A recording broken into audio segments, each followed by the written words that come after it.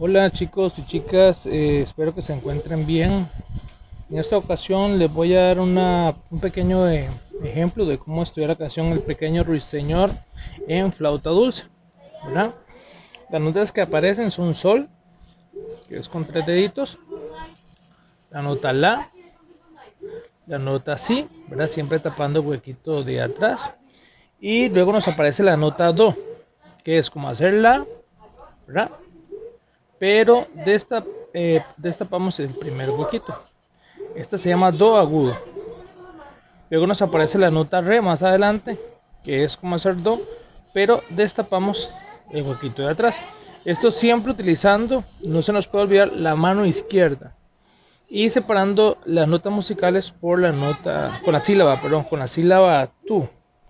Entonces las vamos a decir desde el principio nota por nota. Ustedes ya deben de tener en la guía de trabajo la partitura de, esta, de este pequeño ejercicio.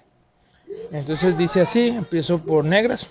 Sol, sol, sol, sol, la, la. Si, si, si, si. Do agudo. Do. Esperamos.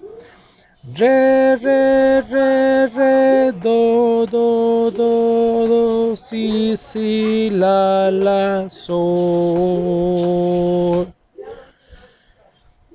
Lo volvemos a hacer una vez más. Eh, recordarles que no podemos dejar, ¿verdad? Eh, que la yemita de los dedos no tapen los huequitos, porque si no se nos va a filtrar el aire y eso va a sonar feo, ¿verdad? No podemos dejar que que este que se filtre. Otra vez, cuento 4, 3, 4.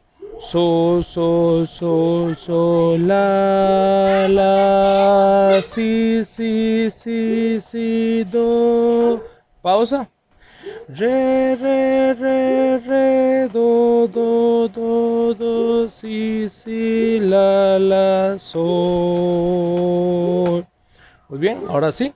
Una vez que ya lo tenemos interiorizado primero aquí, lo pasamos a la flauta y lo separamos con tu.